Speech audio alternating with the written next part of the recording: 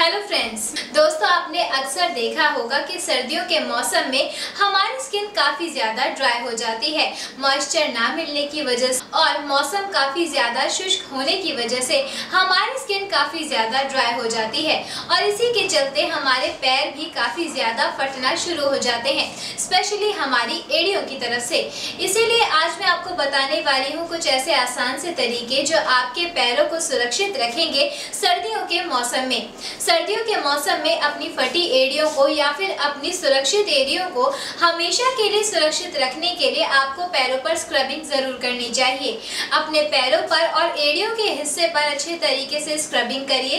ये dead skin cells और bacteria को रिमूव करता है। अपने पैरों पर जब भी स्क्रबिंग करें तो उसके बाद मॉइस्चराइजर ज़रूर लगाइए। और इसी के साथ साथ जो भी फुटवेयर आप कैरी कर रहे हैं तो कोशिश करिए कि आप ऐसे ही फुटवेयर को कैरी करें जिसकी वजह से आपके पैर पूरे तरीके से कवर हो जाएँ। अपने पैरों को सुरक्षित रखने के लिए मोजों का प्रयोग ज़रूर करिए और रात को सोने से पहले अपनी एडियो पर आप वेस्लिन ज़रूर लगाइए।